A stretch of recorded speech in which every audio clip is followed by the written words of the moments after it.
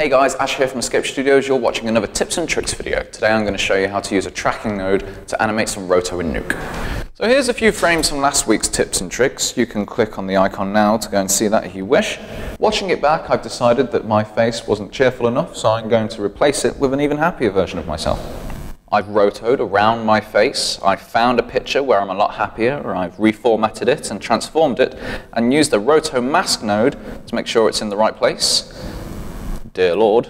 Now I could animate the roto using keyframes, but I've decided, since my face is the same shape the whole way through, I'm just going to use a tracker to move the roto for me. So I'm going to select my original backplate, zoom in on my ugly mug, hit tab, and click tracker. Once the tracker is attached to the backplate, if I haven't already, I'm going to hit O to turn overlays on so I can see the tracking markers.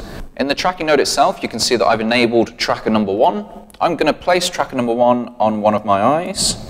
I'm going to enable two more trackers, tracker 2 and tracker 3. Tracker 2 can go on my other eye, and tracker 3 can go on one of my huge nostrils. Now I'm going to head back up to the tracker node, hover over this button that says track to the last frame, and click it. Nuke will then match these tracking nodes to the pixels on the screen.